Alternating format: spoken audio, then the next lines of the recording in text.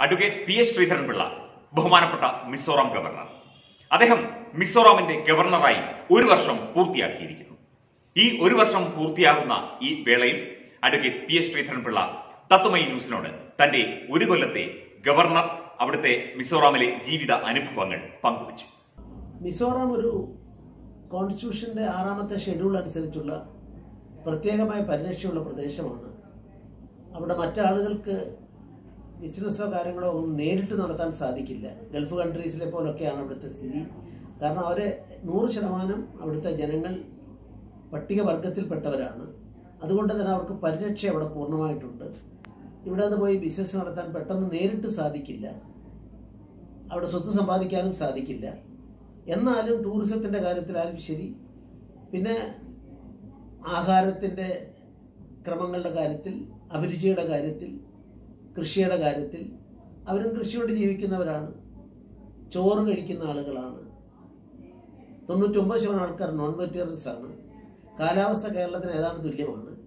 അതുകൊണ്ട് സമാനതകൾ ഏറെയുണ്ട്. അതിനെ ഉപയോഗപ്പെടുത്താനുള്ള സാധ്യതകൾ അനന്തമാണ്. അത് നിയമത്തിന്റെ പരിരക്ഷയിൽ നിന്നുകൊണ്ട് പരിമിതിയിൽ നിന്നുകൊണ്ട് ആ കാര്യം ചെയ്യേണ്ടതായിട്ടുണ്ട്.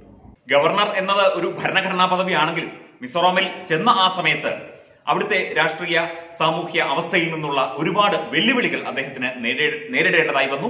മാത്രമല്ല കുറച്ചു കാലങ്ങൾക്ക് ശേഷം അവിടുത്തെ ജനങ്ങൾക്ക് അദ്ദേഹത്തെ അദ്ദേഹത്തിന്റെയും അദ്ദേഹത്തിന്റെ പ്രവർത്തന രീതിയെയും മനസ്സിലാവുകയും അവർ അദ്ദേഹത്തോട് എല്ലാവിധത്തിലുള്ള സ്നേഹവും സഹകരണവും കാണിക്കുകയും ചെയ്തതായും അഡ്വക്കേറ്റ് ശ്രീധരൻപിള്ള നമ്മോട് പറഞ്ഞു.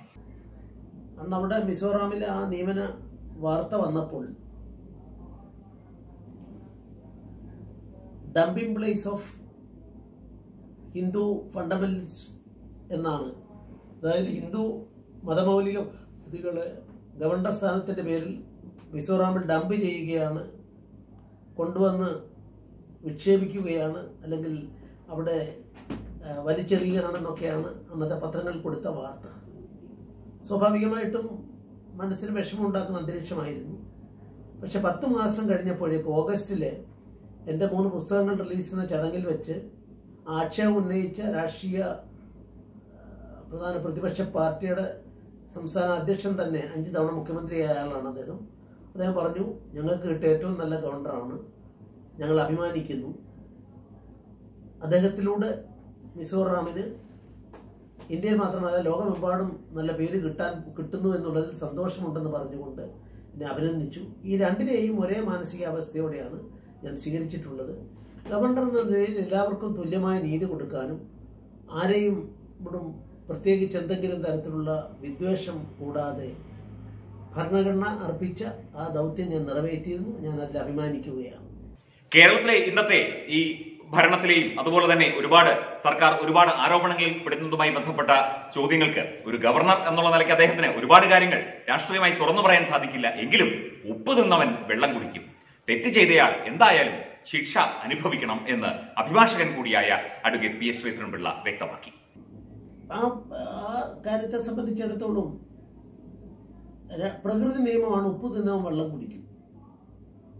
രണ്ട് നിയമവാഴ്ചയിൽ കുറ്റം ചെയ്തവൻ അവർ കുറ്റം ചെയ്തിട്ടുണ്ടെങ്കിൽ ശിക്ഷയ്ക്ക് വിധേയമാകണം.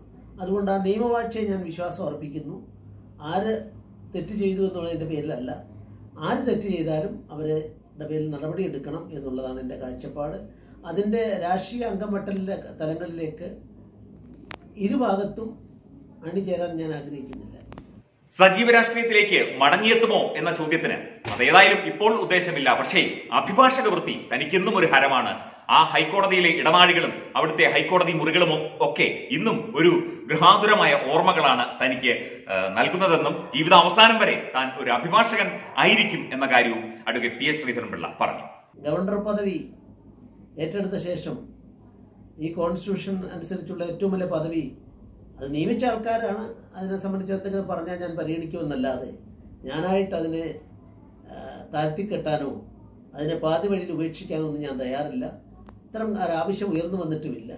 അതുകൊണ്ട് ഞാൻ വീണ്ടും അഭിഭാഷക വൃത്തി റിട്ടയർ ഇതിന്റെ കാലാവധി കഴിഞ്ഞാൽ പിന്നെ ഒരു ഓപ്ഷൻ എന്റെ മുമ്പിൽ വന്നാൽ എനിക്ക് ആരോഗ്യമുണ്ടെങ്കിൽ ഞാൻ ഇഷ്ടപ്പെടുന്നത് എന്റെ പ്രൊഫഷൻ ആയിരിക്കുമെന്നാണ് സൂചിപ്പിച്ചത്.